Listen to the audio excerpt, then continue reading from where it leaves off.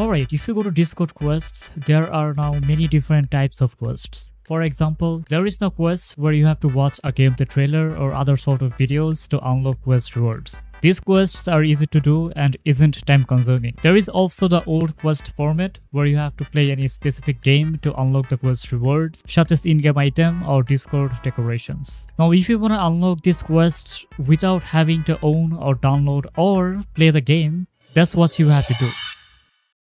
Make sure you have the Discord client installed in your PC. And also, you can only do it in PC and not in mobile. Now go to Discord settings, then advanced, and make sure you have the developer settings turned on. Now go to the Discord quest page.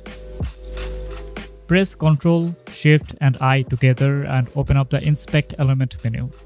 For a lot of you, this inspect element may not pop up even after doing everything right. I'll address the issue later in the video.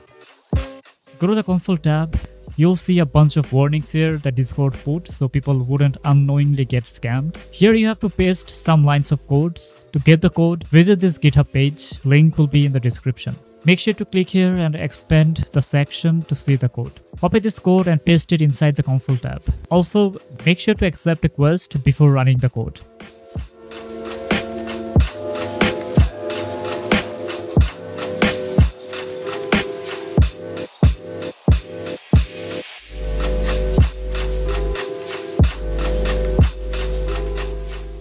Once you paste the code, press enter and your quest progress will start. Just wait 15 minutes and your quest will be completed.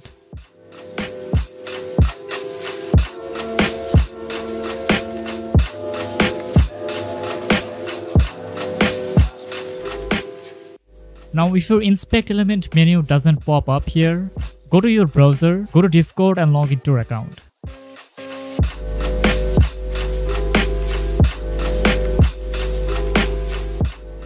Go to the quest page. Accept a quest and then press Ctrl, Shift and I together or F12 to open up inspect element.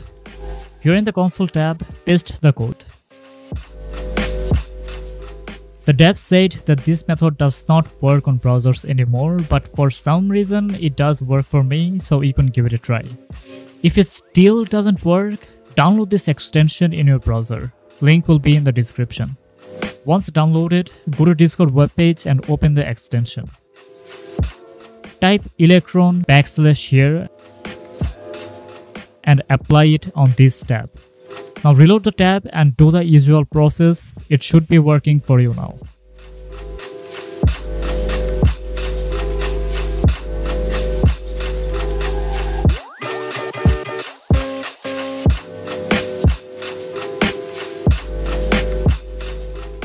I will also link some more solutions to this issue in the description. As usual, thanks for watching. If the video helped, make sure to leave a like and feel free to subscribe. See you in the next one.